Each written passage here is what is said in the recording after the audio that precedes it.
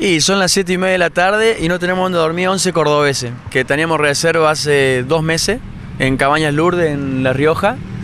Eh, el día lunes me llamaron diciendo que habían clausurado la cabaña, mintiéndome. Entonces la persona que se casaba fue volando y le dije, no, una confusión, una confusión. Le hicieron un recibo por mil pesos y hoy nos dejaron afuera.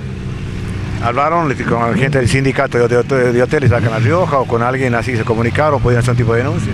Yo, yo hablé directamente con, con las cabañas. O sea, telefónicamente están publicitado en internet, por Facebook. Tienen críticas y otros comentarios normales y bueno, así fue el, el contacto que hice.